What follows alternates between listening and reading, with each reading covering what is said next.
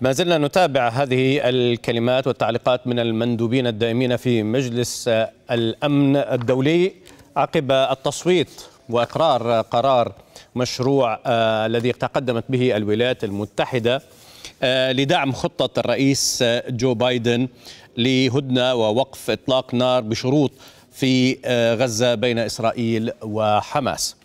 نتابع التفاصيل هنا. جو كان هناك 14 صوت بالموافقة. امتنعت روسيا. كان بعض يتوقع أيضا أن تمتنع الصين. ما هي الملاحظات أولا؟ لماذا يعني ترفض روسيا مثل هكذا قرار؟ هل لما فيه أم لأنه قدم من الولايات المتحدة بشكل أساسي؟ اولا من ناحية الشكل لأنه قدم من قبل الولايات المتحدة وأنه لم يجري التنسيق مع المندوب الروسي في مجلس الأمن فيما يتعلق بمشروع هذا القرار.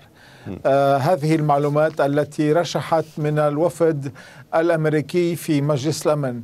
آه كما ذكرت أيضا كان يتوقع أن تقدم الصين وأيضا الجزائر على الامتناع عن التصويت لكن في اللحظة الأخيرة وبعد مشاورات دبلوماسية وراء الكواليس بين الوفد الأمريكي والوفدين الجزائري والصيني تم إقناع الجزائر والصين على التصويت لمصلحة هذا القرار.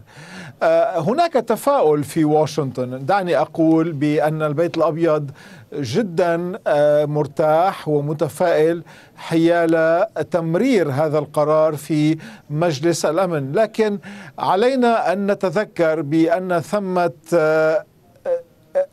ثمة عدم عدم قبول 100% من قبل الجانب الإسرائيلي. وأيضا هناك الطرف الآخر هو الطرف الفلسطيني المتمثل بحماس والذي يمكن أن يعرقل مسار هذا المشروع حتى حتى نتحدث يعني بشكل لا نفرط صحيح صحيح. هذا ما يقوله البيت, البيت الأبيض. بس البيت الأبيض. يعني حتى نكون يعني الآن حماس رحبت بهذا القرار. طبعا هناك معضلة في موضوع قرار مجلس الأمن بأنه يخاطب ومجلس الأمن دائما يخاطب الدول. حماس ليست دولة هي رحبت بالقرار.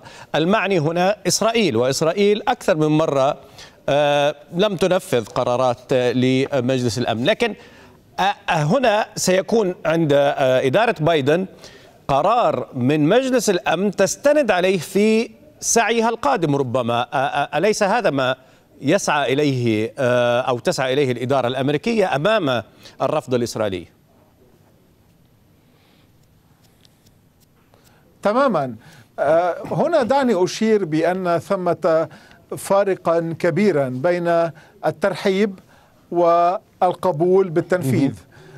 كلمة الترحيب وهو وهي طبعا لا تنطبق فقط على حركة حماس إنما أيضا تنسحب على على إسرائيل. إسرائيل عادة ترحب بالقرارات لكن عندما يأتي موعد التنفيذ نتفاجأ أو يتفاجأ الكثيرون في الإدارة الأمريكية بأن ثمة امتعاضا أو اعتراضا إسرائيليا. هنا لابد من الإشارة بأن الحركة أو أو أو العلاقة الأمريكية الإسرائيلية في هذه اللحظات وبعد استقالة الوزير غانس ليست على ما يرام. هناك الكثير من الامتعاض والانزعاج من قبل نعم. فريق بايدن.